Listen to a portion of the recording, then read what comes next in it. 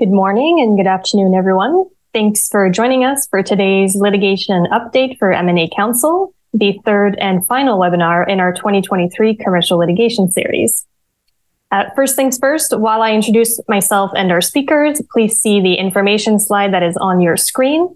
Uh, I'd like to draw your attention to the survey piece. We really value your feedback on our sessions here today, and so we encourage you to fill in the survey before you log out of the webinar. And uh, with that out of the way, my name is Gabrielle Cyr. I am an associate with Fasken's Ottawa office, uh, and I practice predominantly in the area of commercial litigation, international arbitration, procurement, and white collar crime. That said, you're not really here to hear from me. You're here to learn, as am I. And so it is with great pleasure that I introduce your headliners for today. Uh, Jesse Harper is a partner in our Fasken Toronto office and a member of our litigation and dispute resolution group. Jesse maintains a broad dispute resolution practice, which includes all aspects of civil litigation and arbitration, uh, and a particular focus on complex commercial and corporate litigation matters.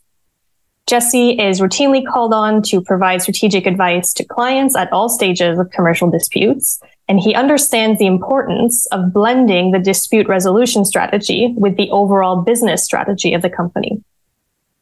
Our second speaker, Vincent Cérat Lagana, is a partner in our Montreal office and a member of our litigation and dispute resolution group.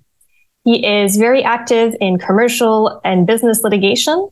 He acts regularly in shareholder disputes, uh, transactional litigation, and corporate governance litigation. Uh, and he also acts for both corporations and their board of directors, as well as minority shareholders uh, in the context of oppression remedy disputes. Uh, Vincent also regularly publishes and presents on all of these topics. And third, final but not least, is Paul Blyschak, who is counsel for Fasken. He is based out of our office in Calgary and is a member of our corporate and commercial group. Paul's practice is focused on mergers and acquisitions, uh, joint ventures and project development, cross-border transactions, and private equity. Uh, Paul also regularly publishes on M&A issues, including with LexisNexis, uh, the M&A Lawyer, and the American Bar Association. And so we are very fortunate to have these gentlemen all to ourselves today uh, who've taken time out of their frighteningly busy schedules to speak with us. Uh, and now, without further ado, I will pass the microphone to our first speaker, Jesse, who is going to talk to us about privilege and the transfer of ownership of privileged communications. And so, Jesse is going to provide us with an update on a recent Ontario case dealing with this issue. Take it away, Jesse. Thanks, Gabrielle. Um, and uh, as you mentioned, I'm going to talk about uh, the Dente case, which is a recent case um, out of our Ontario courts. Um, it's privilege, and I, I know that privilege may not be the most uh, exciting topic to start off with, but it is a, a topic that, um, when we get through the discussion, you'll see can have really significant impacts on uh, your role in a transaction and, and potential post transaction litigation um, if the privilege isn't properly protected. Um, the, the impact of the Dente case will probably be most relevant to those uh, representing sellers in a transaction or assisting sellers in a transaction. Um, but we anticipate the impact will be seen uh, sort of across the market generally because it, there are some uh, discussions about potential additional clauses to be added to share purchase agreements. So even if you're on for the purchaser, uh, important development to know about. Uh, and the issue, if I can boil it down to to a pretty succinct description, is really in the course of a transaction, suppose the sellers are using their company email. Suppose they're getting advice from their counsel at their company.ca email um, as they're preparing for the transaction. Um, transaction closes, post closing, uh, those emails may stay on the company servers, end up in the hands of the new owner and the purchaser. Uh, and the question is, is, is who owns the privilege? Who can maintain the privilege? Um, and, you know, can the purchaser if they're in receipt of these emails, use the emails to advance a post closing claim. So you can see very quickly that, uh, you know, if there's discussions in the workup of an SPA about whether you can give a certain rep and warranty or, you know, what needs to be included in a disclosure schedule.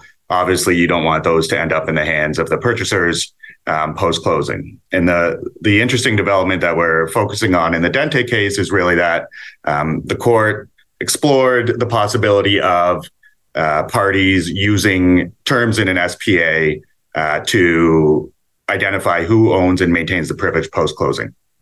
Now I think it's an issue that's most clear um, when we get into the specific fact pattern. So as we uh, go over to the next slide, I just intend to spend a couple minutes talking about um, the facts that gave rise to the the issues in Dente. Um, so the issue was, you know, as I suggested, the sellers had sent uh, their pre-closing emails with their counsel from their company email address. It was a small, closely held company. I think they tended to be in the uh, habit of just using their company emails as their personal and professional emails, and um, didn't really uh, cause. Uh, they didn't really stop to think as to whether they should be using their company email. Um, their counsel on the transaction uh, had historically ad- acted for the company, um, but had also acted for the shareholders on some personal matters, doing some estate planning and, and family law issues. Um, when it comes to the transaction itself, counsel was clearly representing the sellers. He was negotiating the SPA um, from the seller's pers- perspective uh, with the purchasers, um, but it wasn't clear whether he was acting for the company. He took the position that he wasn't acting for the company and the company didn't need representation. Uh, the purchasers who wanted to make use of the documents that ultimately ended up in their hand um, took the position that he was for, for reasons that'll hopefully become clear in a little bit. Um, after the transaction, there was a, the founders stayed on on a consulting basis. Um, relationship ultimately soured as it sometimes does. Uh, and then there's a whole wealth of litigation. The, the sellers were suing for the termination of the consulting relationship, um, as well as certain issues relating to the earnout under the SPA, um, and the company countersued on on some transactional issues. Uh, and you know, as they're going through the litigation, counsel for the sellers and the litigation, uh, sorry, counsel for the purchasers, so the the new owners. Uh, is looking at documents and sees that they have these emails between the sellers and their counsel at the time of negotiating the SPA um, may want to make use of them depending what they say. Um, of course, you know, being uh, counsel aware of their obligations under the rules, didn't actually read them to the extent they could avoid it. Um, but brought there was a motion before the court as to, you know, whether the sellers can restrict the their use of the uh, documents based on privilege, or whether the sellers were able to to use them um, because they ended up being transferred in the course of the transaction. Uh, and the primary question uh, the court will look at is first, was this an issue of joint representation or were they acting only for the selling shareholders? Um, so taking each of those separately, the issue if if counsel's acting for both, if counsel's representing the sellers and the company in the transaction, the privilege issues get thorny, right? In, in that situation, there's a joint privilege held by both the sellers and the company. Um, when you act for two parties, the the privilege cannot be uh, maintained as against the other party to the retainer. Um, so if there's a situation where there's a joint retainer, the sellers cannot claim privilege as against the company. And importantly, now post transaction, the company is really, you know, the new owners or the, the counterparty in the transaction at the end of the day. Um, turning to the second scenario, if you're only acting for the sellers or if counsel's only acting for the sellers, there's not a joint privilege and that privilege is the sellers to hopefully maintain and keep. Um, when you're in that situation, acting just for the sellers, and I'm going to come back to the joint representation situation because that's where Dente said some interesting things. Um, but starting where somebody's acting only for the sellers, or you know, you may be the seller in a transaction dealing with counsel. Um, yes, you maintain the privilege, but it still can get risky using uh, the company servers uh, if you don't take steps to purge the privileged information from the servers in the course of the transaction. Um, if you leave it on the company's server post transaction, there may be an argument and very much a finding that that constitutes a waiver of the privilege that uh, you held. Remember that you have to protect privilege. You can't just uh, disclose these documents to the open world. And, and the more carefree you are about it, the more there will be a, a risk of a finding that the privilege has been waived. Um, there's ways to avoid that, uh, even when you're acting just for the sellers, right? Like the the gold standard is when you're entering into a potential negotiation and potential transaction, don't put those emails on the company server, right? Go and make a Gmail address, you know, Jesse transaction at gmail.com or something, right? That way it's never on the company server. There's no argument that it was transferred in the course of the transaction. Uh, and the sell- the purchasers never see the documents. Um, less uh, less safe, but also uh, well recognized approach is um, having a, a, system where you are removing the privileged communications prior to the sale. Um, I don't love that approach because, uh, as we know, closings can get a bit rushed. Clients have a lot of things going on. Uh, you know, are they actually going to take those steps and accurately take those steps to remove all the uh, documents? But you know, that is an accepted approach. And in the Dente case, the finding was ultimately that uh, the privilege remained with the sellers, and the sellers at least tried to remove the privileged communications from the server, and so therefore there was no waiver of privilege, and and the uh, purchasers could not uh, review or rely on the documents. Um, but turning back to the situation where there is a joint privilege, where there's a finding that counsel has been acting for both uh, the sellers and the company, uh, you know, in the normal course, the sellers could not enforce that privilege as against the purchaser. Uh, the the right to the privilege of the company transfers with the transaction, assuming it's a share purchase transaction and not an asset uh, purchase agreement. And the new owners, as the company, are the owner of that privilege, and the sellers are sort of out to lunch on actually protecting it. So, what can be done? And this is really where um, one of the statements of, in Dente comes in and it suggests that uh, provisions can be put into a, a share purchase agreement that can assist in maintaining the privilege uh, even post transaction. And what the court said in Dente, uh, and the statement that's gotten a lot of attention is the statement in paragraph 61, which technically was in obiter because, as I said, the court found that there was no joint representation here.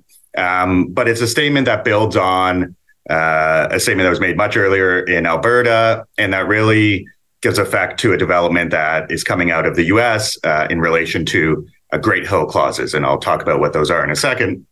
But paragraph 61 is really the nut of it. It says um, where there is a joint representation, the owner can insert a clause in the share purchase agreement that would leave the former owner in sole possession of the privilege upon closing. And when they fail to do so, the prior owner cannot claim privilege over documents as against the new owner who now owns the documents.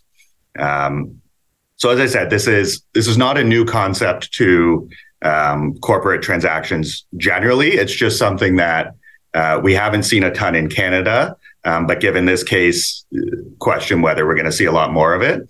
Um, it's it's a development that is pretty strong in Delaware, and, and for those of you who are aware of Great Hill clauses, uh, it will not be news to you. But uh, they're called Great Hill clauses just because that's the first case that considered these types of uh, clauses in in Delaware.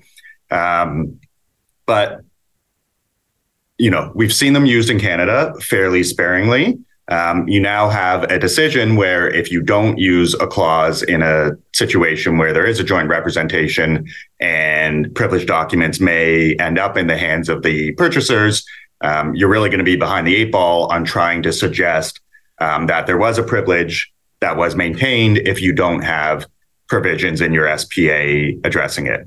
Um, so stepping back, what is a Great Hill clause? Like it's ultimately a um, matter of drafting. You'll see all sorts of different forms, but it's essentially a clause in the SPA that deals with what is going to happen to the privilege post transaction. Um, most often, it's going to say that it's going to stay with the seller because it's the seller's privileged communications, um, even if there was a joint privilege between the seller and the company. Um, you know, there's really three key terms that you tend to see in Great Hill clauses. Obviously, there's a lot of room around the margins to um, talk about other things that you could include, but it's really as easy as identifying the privileged communications an issue. So it's you know transactional communications as between the seller and their counsel at the time, um, addressing communications or sorry, addressing control over those communications, right? The fact that they're going to stay with the seller, and also importantly, including a uh, no use clause that prohibits the buyer from relying on the communications uh, in any post closing dispute. Jesse, uh, I wonder if I could interrupt with a question, if that's allowed. Yes. Uh, I was just wondering, as I'm listening to you talk about these clauses, I wonder what's the purpose of the no use clause if the seller retains the privilege? Is the fact that they have the privilege not sufficient? Yeah, it's a good question. And the concern is really that you certainly, the first two bullets on the of what a Great Hill clause uh, entails um, covers the fact that the privilege stays with the seller, right? But even if the privilege stays with the seller, you're open to an argument that you know if you do nothing to actually protect it, if you still just leave them on the company's servers, share them with third parties, etc., the privilege has been waived. So all well and good that you said that this joint privilege now retains with the sellers, but if you just put that out to the world and out to the new owners, um, you could face an argument that there's a waiver of that privilege. Uh, and you know, controlling a privilege that has been waived doesn't actually give you much power. Uh, so a clause, a no-use clause, I think has been a development where um, courts in Delaware have stated that even if there is a waiver of the privilege, or even if there's an argument that there's been a waiver of the privilege, the purchasers have committed to not use the documents in any event. So if you're in post-closing uh, litigation, the owners can't or the, the new owners can't use them um, irrespective of any argument they make about whether you waive privilege after the the closing of the transaction.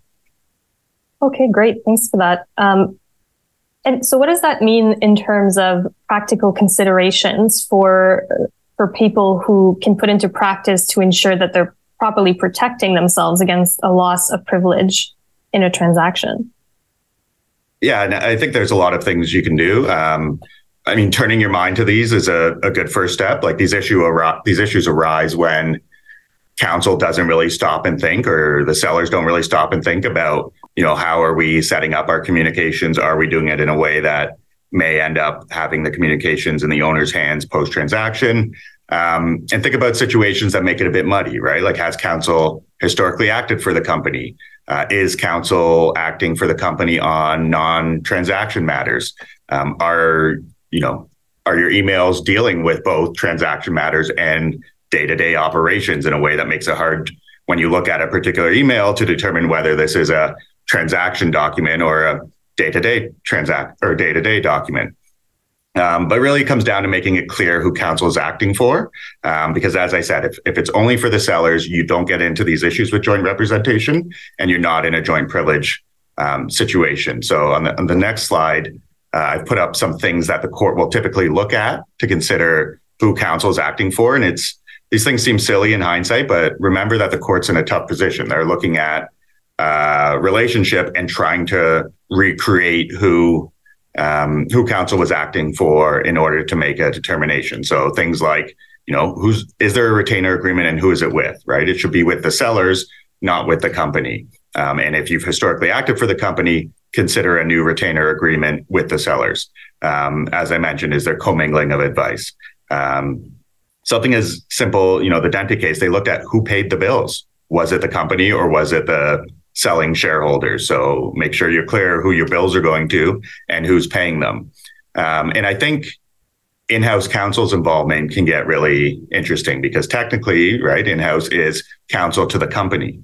Uh, so if there's an issue where shareholder is getting advice on a potential transaction from their counsel, um, their transaction counsel, should in-house counsel be involved in that discussion? Should they be on the email? Um, should they be in any way subject to that uh, communication? So, um, and finally, you know, not every M and A transaction needs separate counsel for the company, but if it's a situation where the company is taking on some liability or, or has interests that may not be aligned with the selling shareholders, um, there may be appropriate to have uh, counsel for the company uh, separate from counsel for the shareholders.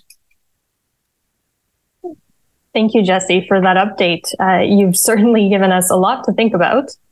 Um, I will hand it over now to our next speaker, Vincent, who will speak to us uh, about earnouts. Thank you, Gabrielle. So maybe before I get started, a quick word in French. Euh, la présentation va être en anglais pour les fins d'une présentation nationale. Évidemment, pour ceux qui sont sur la ligne, qui sont francophones, si vous avez des questions, vous avez mon adresse courriel à quelque part, n'hésitez pas, ça va me faire plaisir d'y répondre. Euh, Yeah, let's talk about earnouts. Apparently, my M&A friends and some studies say that they are on the rise, which raises the question for a litigator: what what is the potential consequence? What are the litigation angles or the litigation considerations that should be taken into account when exploring or using earnouts in an M&A transaction? So the first point, of course, is determining what is an earnout. Uh, it is a contractual provision by which at least part of the purchase price is calculated by reference to the financial performance or a milestone of the target corporation or business over an agreed span of time after the closing. Uh, and a lot of the comments I will make apply to earnouts, uh, but they would also apply to a partial sale of share where, where the seller retains a minority position and then a buyout mechanism, an option, or anything in the future allows for the completion of a total purchase by the acquirer. Um, some of my comments also apply to other purchase price adjustments. Uh, the earnout is typically structured as one or more contingent payments of a purchase price after closing, uh, which are payable, payable when certain targets are met, for instance, EBITDA or revenue. Uh, and the the buyout is not paid if those targets are not met or paid partially depending on circumstances. Uh, next, next slide, please. So the reasons for using an earnout, I, have included some. There are many others. Uh, I guess the main one is we may not be able immediately to agree on the price and value of the target.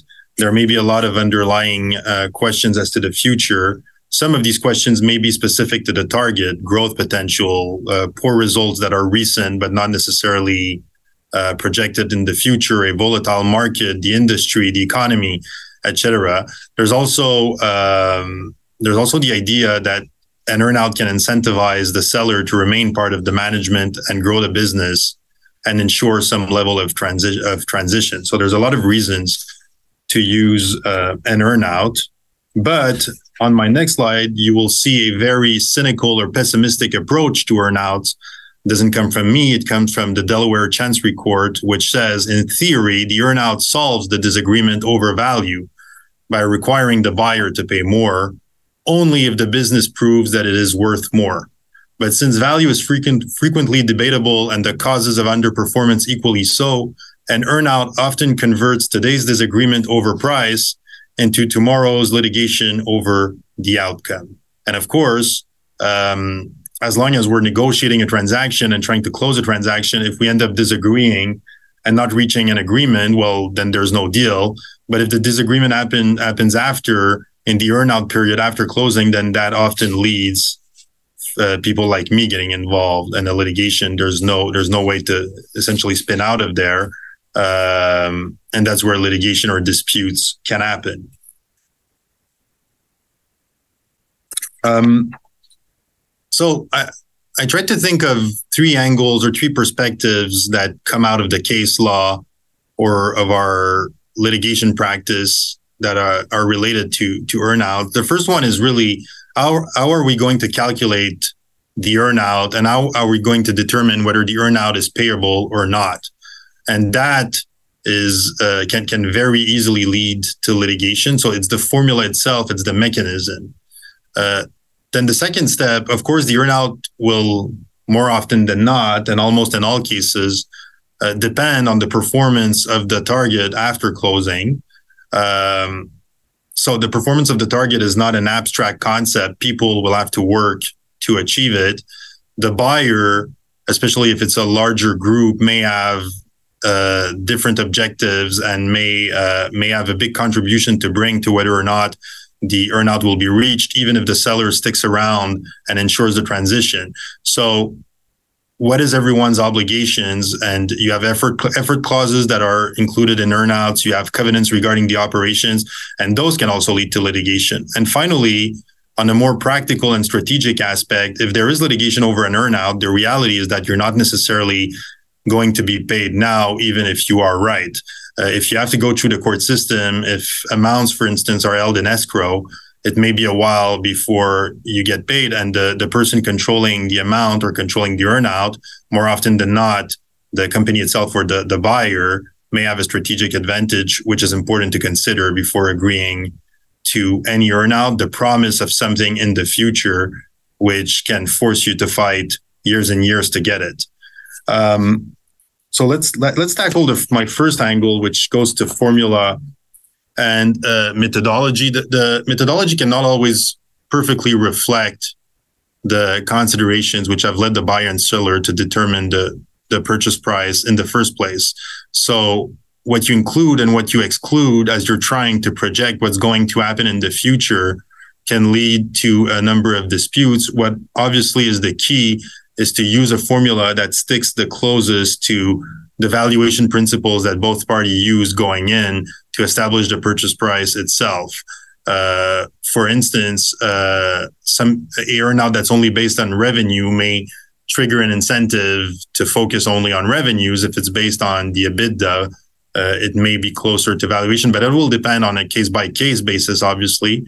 But the formula has to be as close as possible to the valuation concerns that both parties add in the same in the first place, assuming that they are the same. There is a um, a key case uh, in Canada, a good example of that in Whiteside versus Celestica International. It's an Ontario Court of Appeal case. So Celestica, a larger group, acquires a company based out of Ottawa called Corsim. It's they they build product for uh, aerospace and there is an earnout, which is based on the Corsim business, so the targets business, earnings before interest, amortizations, and taxes. So in this case, it's the EBIAT. Um, the dispute arises when a large contract comes in, a game changer, um, and th- that contract was generated by the larger group, Celestica, but it's being performed at the site of the Corsim business in Ottawa and really by the former Corsim employees, by by the Ottawa operations of Celestica, which were purchased in the Corsim agreement. So if we if we look at the clause, and that's a lot of words on a slide, but I think it's important to look at what, what's being said. So 2.5a is is the basis for the earnout calculation, and it essentially says it's going to be the EBIAT for different periods, and it's going to be calculated by the purchaser in accordance with GAAP in a manner consistent with the accounting methods used by the purchaser in the preparation of its audited financial statements as adjusted, and then it's as adjusted in accordance with section 2.5b, 2.5c, and 2.6. So the the the principle or the statement here is that if it's a if it's the the business's um, then it should be counted and then adjusted afterwards for certain additions. And C provides for cases where um, the where, where the, the Corsim IP is being used by Celestica, but for other products elsewhere. So the first judge interpreted C focused on C and said essentially this is not a Corsim contract. This is not necessarily Corsim IP. It's not generated by Corsim. And the focus was on on the C edition uh, with respect to whose IP it is. And the first judge decided that the earnout was not owed based on this game changing contract. And the Court of Appeal disagreed. That's the next slide. And said the earnout must be paid and the contract must be read as a whole. The additional IP based earnout provision cannot be read as depriving the sellers from the benefit of products fabricated and sold from the Ottawa core SIM business. So the focus was really on 2.5A on the principles because you cannot isolate provisions from one another.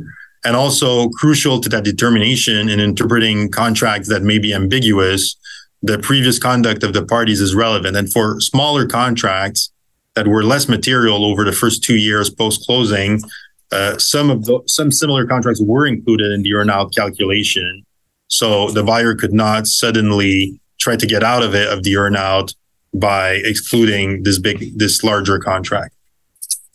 Uh, before we get to that, actually, the, I, I also have a, another example. It's a war story which ended up settling for other reasons, never became uh, never became judiciarized, but it's a good example of what can happen. So large group buys a Canadian company.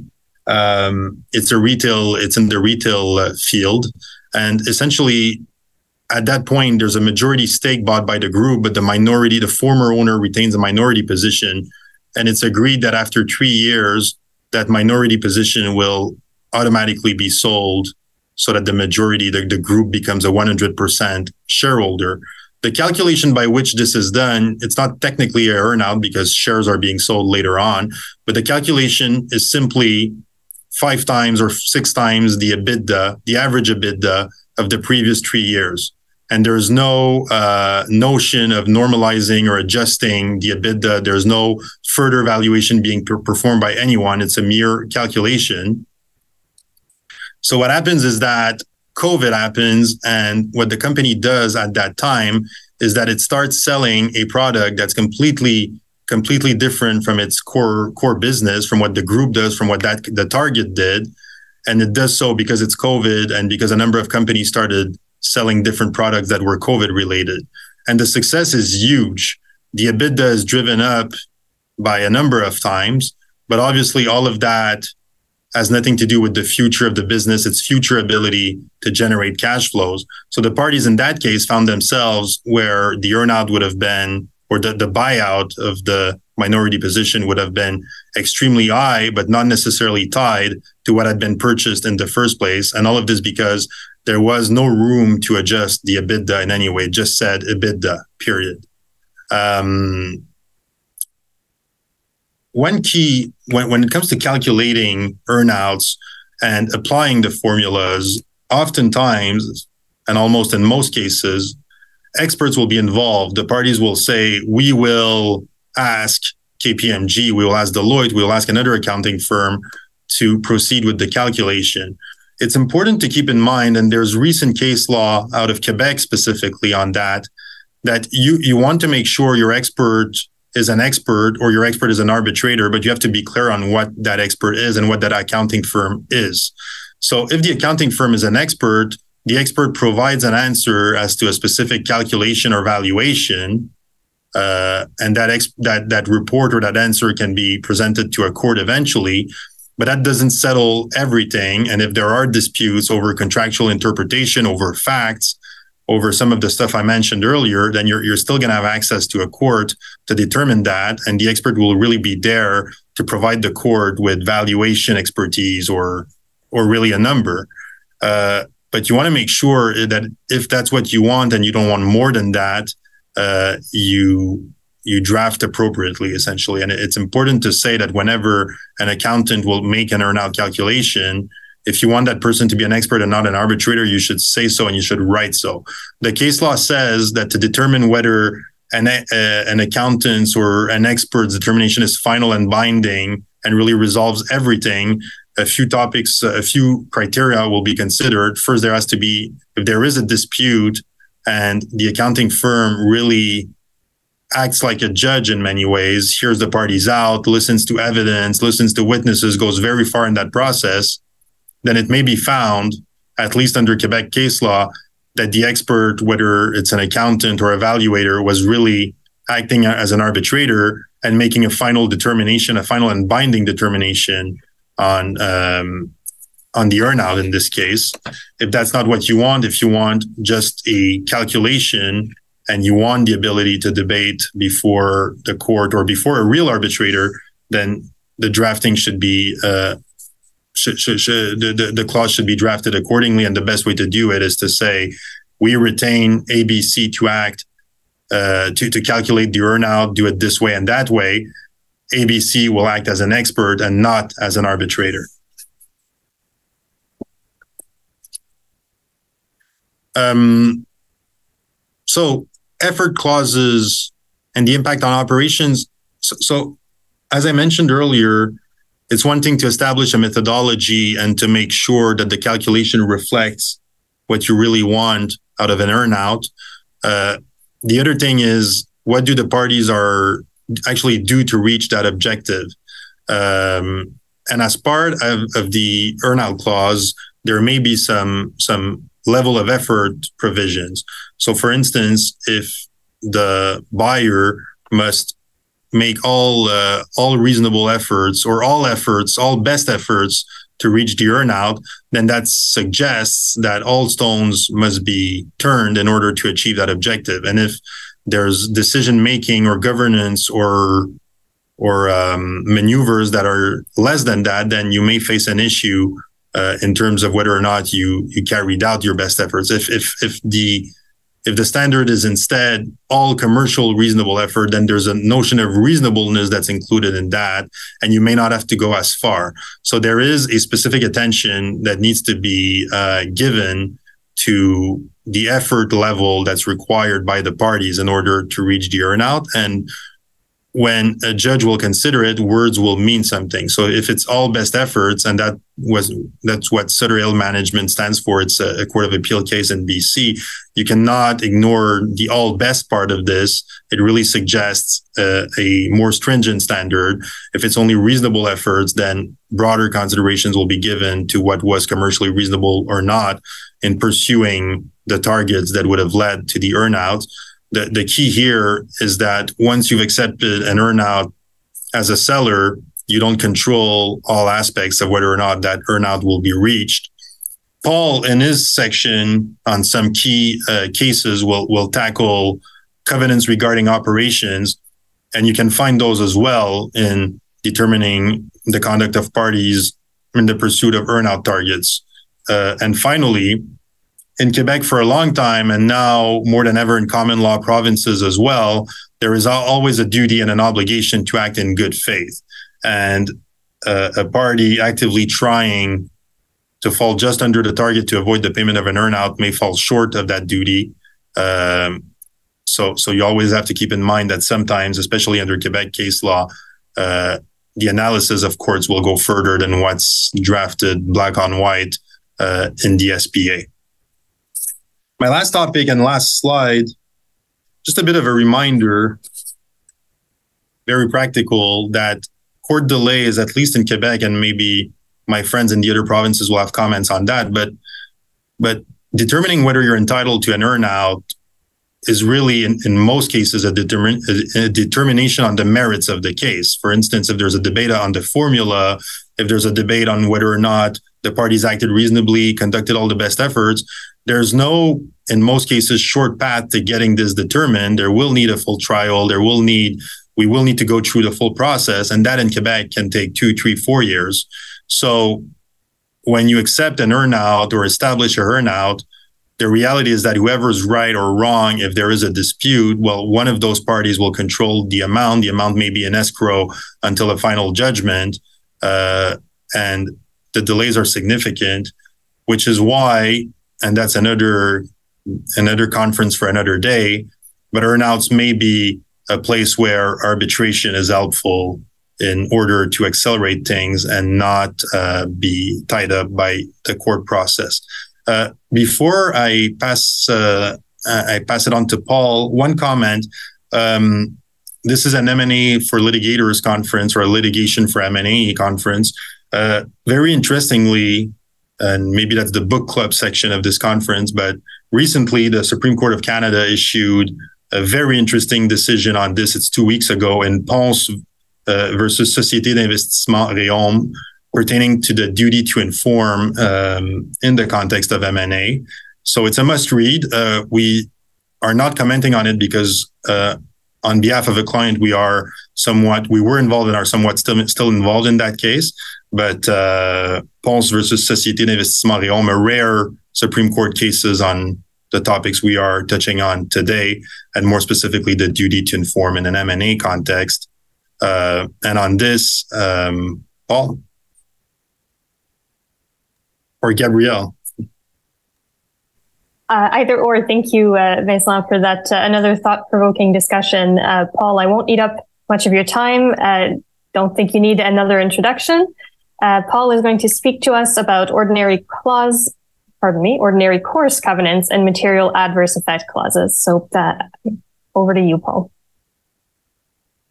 Hi, everybody. Uh, thanks for joining us today. Uh, so, yes, I'm going to discuss ordinary course covenants and MAE clauses.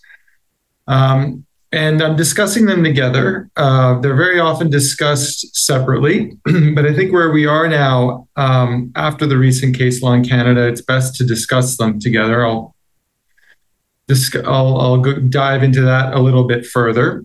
Uh, so to provide, to provide an overview of how I'll be tackling these fairly complicated clauses, uh, start with just discussing again why I think it's best for them to be touched on together why they still remain very much separate clauses, which should always be appreciated. Uh, I'll then look closer at ordinary course covenants themselves, uh, and then closer at MAE clauses themselves. Um, and so, you know, a reason, an, an extra reason for discussing these clauses together is anyone who touches M&A has heard of Fairstone. Uh, the most significant uh, case on MAE clauses, also uh, ordinary course covenants, and then Cineplex, which uh, deals squarely with ordinary course covenants. Those decisions are now getting a year or two old, so I'll, revi- I'll visit a couple of more recent cases out of Delaware on those clauses. But another reason to discuss these clauses together is as as those decisions have sunk in and the market has really digested them in detail, we realize that uh, that there are several problematic issues that arise from them. Um, and so, to sort of keep the discussion fresh, uh, you know, we'll be looking at some of those problematic issues uh, in greater detail as we move on. So, what are ordinary course covenants and MAE clauses? An ordinary course covenant, as we all probably know, is an interim period undertaking by the seller to operate the target in the ordinary course of business during the interim period. Somewhat differently, an MAE clause, material adverse effect, uh, effect clause, is a representation by the seller that an event hasn't occurred that has had or could reasonably be expected to have a material adverse effect on the target. Why do they matter? Uh, they matter because they are amongst the most heavily negotiated uh, clauses uh, in M&A, particularly after the pandemic. And so that brings us back to why we should discuss them together. So they're very different in a sense. They're also very complicated in their own ways, but they overlap. They overlap in terms of the trigger events that can make both of them relevant. The shining example being the pandemic. The pandemic destabilized everything. It brought sharply into focus what the ordinary course of business might be. It also brought sharply into focus what a material adverse effect on a target company could be. So they have that similarity in common.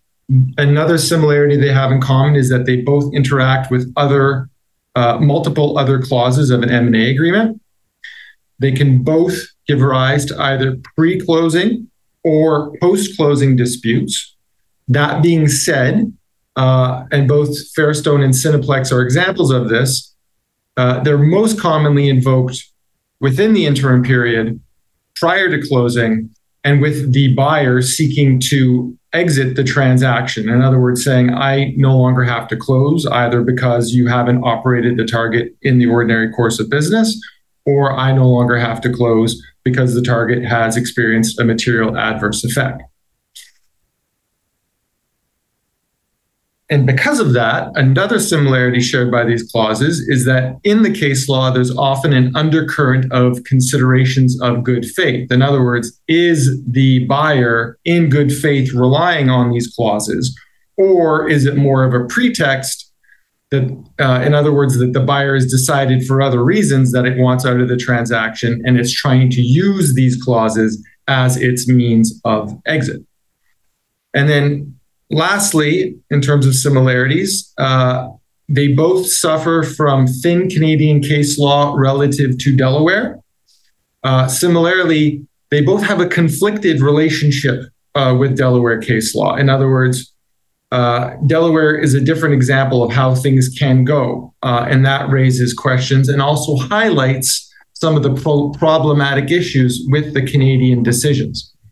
And so, lastly, and most importantly, the reason to discuss and think about these two clauses together is that Fairstone and Cineplex basically both instructed us to do so. In other words, relying on the principle that contracts must be interpreted as a whole, Fairstone and Cineplex said these two clauses, because of this overlap that I discussed earlier and exemplified by the pandemic, will be read by a Canadian court together, uh, at least so far as the Canadian court follows the example of Cineplex and Fairstone. So that takes me to my next slide. so those are the reasons why thinking about these clauses together makes sense.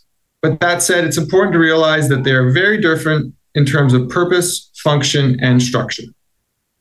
Uh, on a smaller note, MAE clauses uh, have been closely watched for a long time now, basically since 2001 ordinary co- uh, course covenants far less so, really, since the pandemic. Um, and another difference between the two is that MAE clauses are largely hardwired at this point and fully baked in terms of the box that you're playing in when you negotiate them. This is very much less the case with ordinary course covenants, in that they afford more room for creative lawyering, for structuring, and for bespoke uh, drafting for the particular target and circumstances. And so when I say they have a different purpose, next slide, please, what am I really talking about? Well, the different purpose is this ordinary course covenants are intended to help ensure that the nature of the target business remains substantially the same at closing as it was at signing. In contrast, MAE clauses protect the buyer against the significant deterioration in value of the target business from events occurring during the interim period. In terms of their different function, uh, as I said earlier, ordinary course covenants are very much an affirmative undertaking by the seller. This means that they will guide seller decision making and conduct during the interim period. So, ordinary course covenants are very much about choices that the uh, seller makes during the interim period. And because of that, they may require dialogue between the seller and the buyer in connection with the clause, including, for example, in connection with the uh, buyer consent. But it makes sense, things are happening, seller is about to sell, buyer might want to talk to the uh, seller about how it is handling those developments. MAE clauses, on the other hand, are a representation of the seller made at signing and repeating at closing. So they're not a covenant, but they're very much a risk allocation exercise, something very different than, a covenant. So MAE clauses are about things happening and where they fall in their impact within that risk allocation exercise. So, in other words, with an MAE clause, there's no affirmative or interim period obligations on the seller beyond notice. It's just whether or not something happens that triggers the clause. And then, in terms of their structure, uh, I noted on this earlier ordinary course covenants are a contractual undertaking, and they can be very much drafted uh, in a bespoke way for the particular uh, for the particular target, uh, what its business is, the types of things that might arise in the interim period that could require dialogue between uh, buyer and seller. Uh, conversely, or, you know, in contrast, MAE clauses, as I said, are very much a risk allocation exercise. They're heavily negotiated, but but that is somewhat deceiving in, in, in an, uh, to an extent because that negotiation that negotiation happens w- within a fairly predetermined box of well are we going to include this or are we not going to include that sort of thing much less subject to uh, bespoke uh, bespoke drafting moving on to my next slide this is an example of an ordinary course covenant and it's taken from cineplex and it means actions uh, ordinary course means actions in the ordinary course of the normal day to day operations of the business of the company, consistent with past practice. Uh, and so, to exemplify that in action, a recent decision from the Delaware Court of Chancery is H Control Holdings and Antin Infrastructure Partners. So, what we had here was a private equity firm buying a group of broadband companies in Florida. During the interim period, uh, it was discovered that a consultant that provided services to one of the affiliates of the broadband companies earlier in uh, their history might actually, or appeared frankly, to have an ownership interest in one of those subsidiaries. In other words, in his service contract, he was not only to be paid uh, in money, but also in um, in an interest in, in that company in the event of, uh, of any one of a series of liquidation events. And so this individual was claiming an ownership interest in one of these subsidiaries that was about to be bought by the private equity firm. Private equity firm didn't like that, obviously. In an attempt to resolve that problem, the seller transferred the assets of that company to another to another affiliate. Um, and then dissolve the company that the that the consultant claimed an interest in, and that entity was no longer part of, of the transaction. Private equity buyer didn't quite like that, didn't consent to it. And so in the litigation that ensued, which was multifaceted, one of the issues in dispute was, well, was this reorganization and transfer of assets in or outside of the ordinary course of business? The Delaware court actually held that it wasn't. And the reason for that is what I referred to earlier, which, which is the purpose of ordinary course covenants, which is to guard against a fundamental change in the nature of the business. And so the Delaware court essentially held well, yes, this was a bit unusual, uh, but the assets of this one company still reside with an affiliated company the company hasn't changed what it's doing. Yes, it's changed its structure, but the essential business is the same, and the assets of those businesses are the same, and the, the way that those assets are being operated is the same. And so the claim was ultimately unsuccessful, although the buyer was successful on another front and was able to exit that transaction. And so moving on to the next slide, uh, this goes back to my point earlier about the uh, ability for ordinary course covenants to be drafted in a fairly bespoke way. Ordinary course covenants, I showed you an example of what one looks like from the Cineplex dispute. That was a fairly short form uh, of an or- ordinary course covenant and was also redacted in a sense because the operation of that clause, when read as a whole and interacting with other provisions, actually includes a series of qualifiers. So ordinary course covenants, unlike MAE clauses, can be subject to one or more different qualifiers. These are materiality qualifiers. These are efforts qualifiers, which Vincent talked about uh, in his presentation. In other words, best efforts or commercially reasonable efforts or reasonable efforts. In other words, to give examples of those two qualifiers in practice, the seller would undertake to operate the target in the ordinary course of business in all material respects, as to a, as opposed to a, a strictly uh, a completely strict standard. Or the seller could undertake to operate the target in the ordinary course of business, or uh, you know using best efforts or commercially reasonable efforts or reasonable efforts. In other words, once again, not a strict standard. Both can apply uh, if the parties agree to it.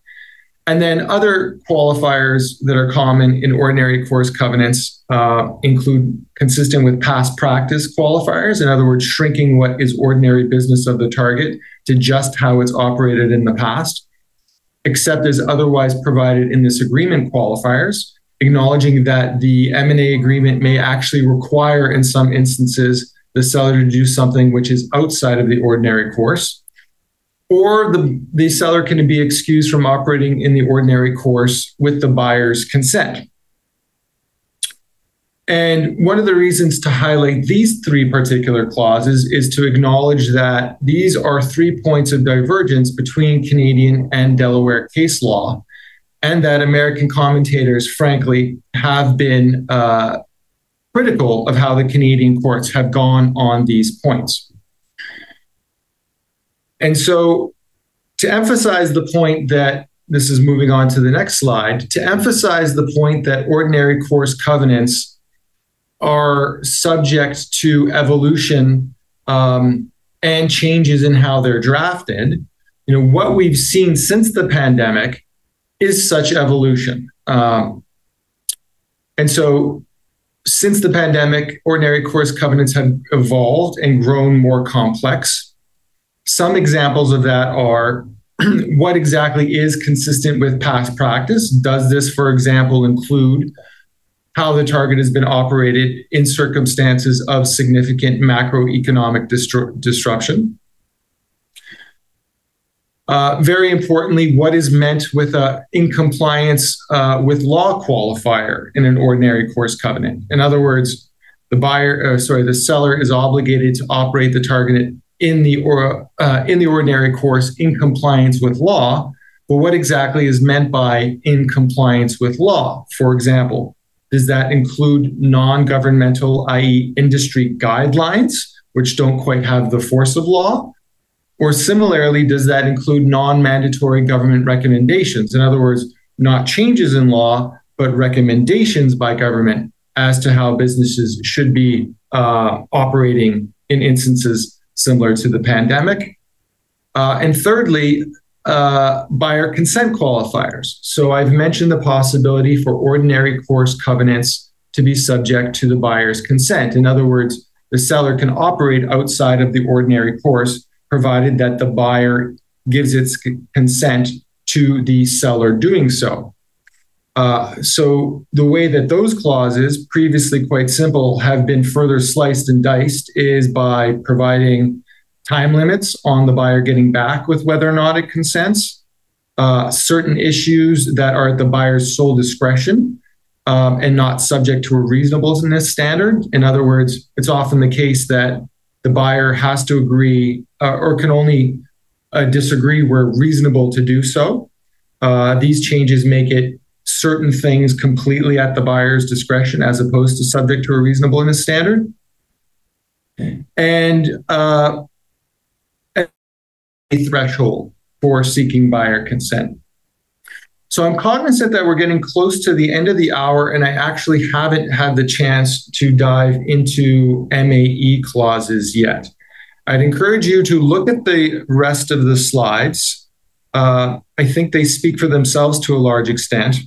What I try and highlight in particular is how, although Fairstone says it's following Delaware law in adapting the MAE clause that it adapts, that's actually only a half truth, as we've come to realize and as we've dug deeper into the case. In other words, Fairstone diverges from Delaware precedent in three significant ways, which actually have the function of making MAE disputes in Canada uh, somewhat more complicated than they are in the United States. In other words, uh, that's quite remarkable because MAE clauses are, have already been uh, uh and MAE disputes are already are already incredibly complicated, as we've seen from Delaware case law post 2001.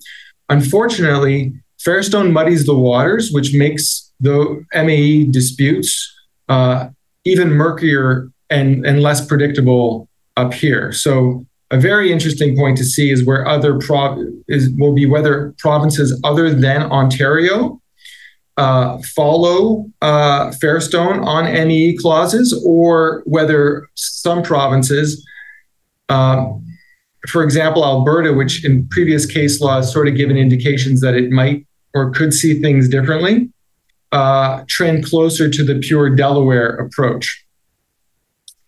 And so to jump to my last slide, um, what I'll highlight is uh, what I'll return to is the interaction of ordinary course covenants and MAE clauses. Uh, so, as I said, Fairstone and Cineplex say the two should be interpreted together. They do so based on the principle that contracts should be read as a whole. Makes sense. And that being the case, the MAE clause being more specific uh, in certain circumstances than the than the ordinary course covenant. What both of those decisions said is, well, I can't interpret the ordinary course covenant in a way that would conflict with the MAE clause because the MAE clause is the more specific of the two. And it read them together, and that's how it got to its decision on, on the ordinary course point. The Delaware Supreme Court, this is noteworthy and goes back to the point of whether or not provinces other than Ontario will follow, follow the Fairstone and Cineplex standard.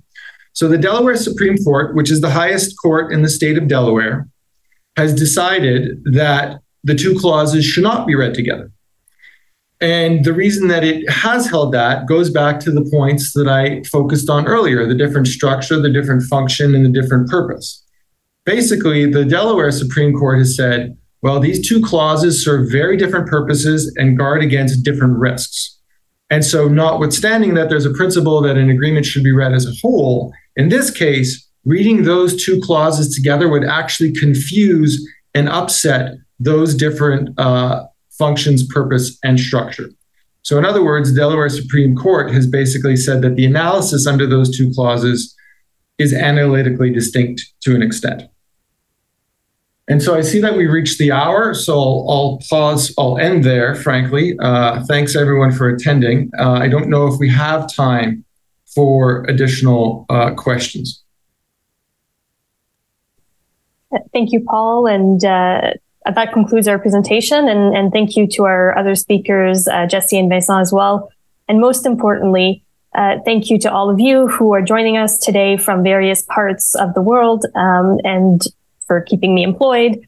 And uh, a reminder to please fill out our survey if you haven't already done so. Uh, and if you've missed any of the past webinars or if you want more information about uh, some of the slides that we maybe didn't have an opportunity to cover today, uh, you can find those at the Fasken Institute section of the Fasken website. And uh, that's right. So I won't take up any more of your time. Thank you, everyone. And uh, we wish you a great rest of your day.